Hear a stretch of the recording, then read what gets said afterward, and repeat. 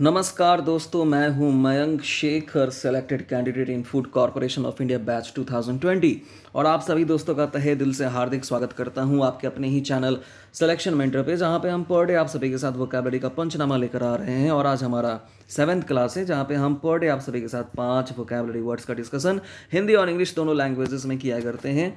आप हमारे साथ टेलीग्राम चैनल पर भी जुड़ सकते हो, ये वहाँ का लिंक है, जहाँ पर कोई भी एग्ज़ाम से रिलेटेड कोई भी इन्फॉर्मेशन कोई भी अपडेट्स वो आपको मिलते रहेंगे।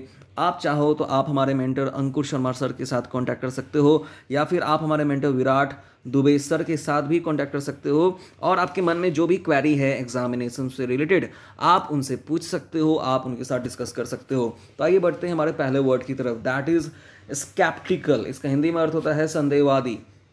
आप इसके सिनोनिम्स को भी लिख सकते हो and these are first doubtful another one is cynical third one is doubting fourth one is dubious fifth one is hesitant and the last one is questioning आप इसके एंटोनिम्स को भी लिख सकते हो and these are first certain second one is convinced third one is believing and the last one is sure आप इसके एक एग्ज़ाम्पल को भी लिख सकते हो जैसा कि मैंने यहाँ खुद लिखा है while Many actors in Bollywood are eager to get back on the set. Some are still skeptical about the situation.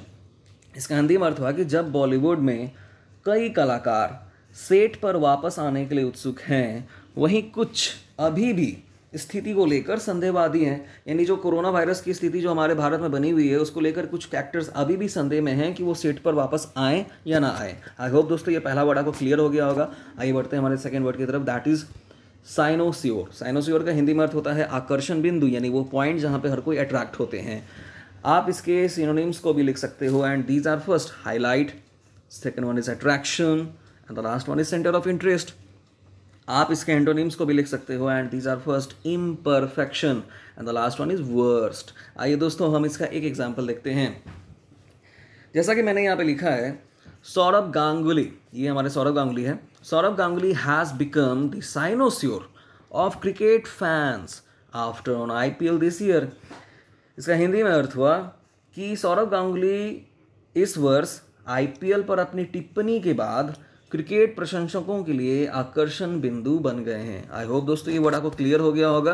आइए बढ़ते हैं हमारे तीसरे वर्ड की तरफ़। That is stern S T R N S T E R N stern इसका हिंदी में अर्थ होता है करा आप इसके सिनोनिम्स को भी लिख सकते हो and these are first harsh second one is strict third one is tough fourth one is hard fifth one is fierce and the last one is severe आप इसके एंटोनिम्स को भी लिख सकते हो and these are first lenient second one is light and the last one is flexible आइए दोस्तों, हम इसका एक एग्ज़ाम्पल देखते हैं।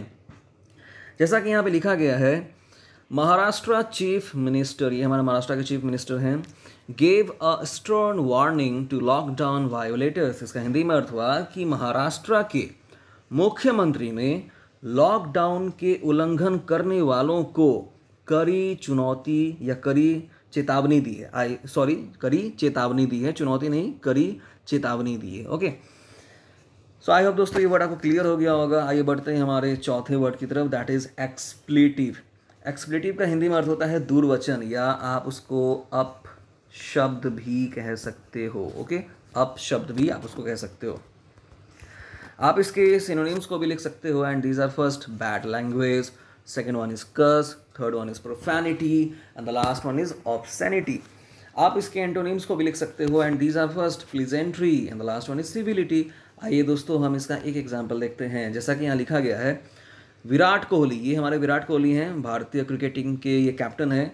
Virat Kohli allegedly use an expletive towards the crowd in second test match against New Zealand इसका हिंदी में अर्थ हुआ कि विराट कोहली ने न्यूजीलैंड के खिलाफ दूसरे टेस्ट मैच में भीड़ के लिए कथित तौर पर अपशब्द का इस्तेमाल किया। आई होप दोस्तों ये वर्ड आपको क्लियर हो गया होगा।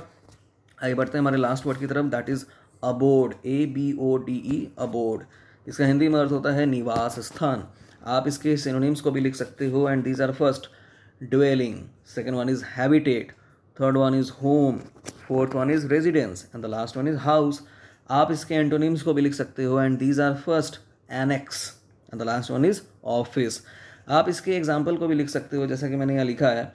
US president Donald Trump visited the abode of Mahatma Gandhi in Ahmedabad इसका जा, साफ़ ज़ाहिर से मतलब हुआ हिंदी में कि अमेरिकी राष्ट्रपति डोनाल्ड ट्रंप अहमदाबाद में महात्मा गांधी के निवास स्थान पर गए। आई होप दोस्तों आपको पाँचों वर्ड्स क्लियर हो गए होंगे। So thank you so much for watching this video please like से लाइक कीजिए शेयर कीजिए और आपका मन जो भी हो, वो आप कमेंट कीजिए। Thank you so much for staying with us please try to support our channel selection meant have a good day bye